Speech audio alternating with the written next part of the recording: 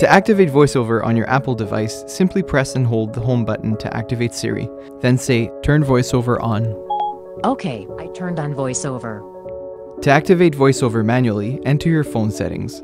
Select General, Accessibility, VoiceOver, then activate the VoiceOver switch. Voiceover on. Settings. Accessibility. Home. In VoiceOver, use three fingers vertically to swipe between pages. Instagram.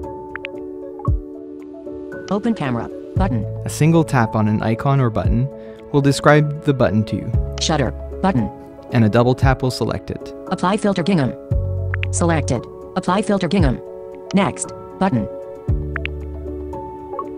Caption. Caption. Number.